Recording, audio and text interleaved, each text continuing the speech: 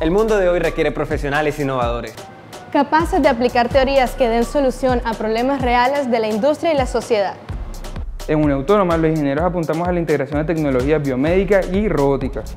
Diseñamos sistemas de infraestructura y seguridad computacional. E integramos hardware y software para brindar soluciones a un mundo globalizado y digital.